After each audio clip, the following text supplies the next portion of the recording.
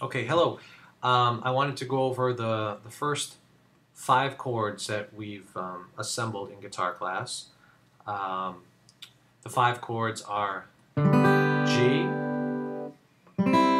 C, G7,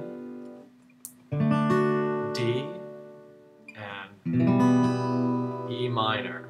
All right, and um, those chords, I, we've written those up on the board in guitar diagrams, and um, and we've played through them in class. So this is just to remind you of what they sound like. Again, the important thing is to be careful of how many strings you're strumming.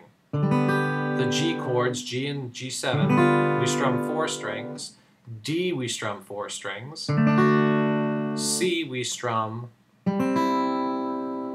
three strings. And E minor, we get to strum all six strings. So that's just great. Um, and then uh, I'll write underneath this video the chord progression for um, the song When September Ends, and it's the same chords for In My Life by the Beatles, the verse. But this is what they sound like. One, two, three, four.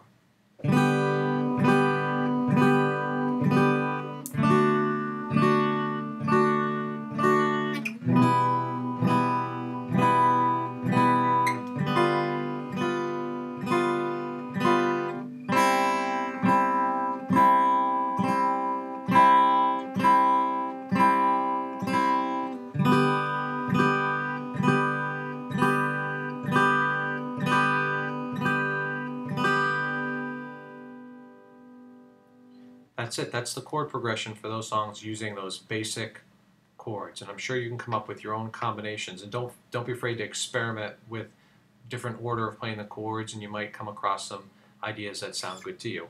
All right. Good luck.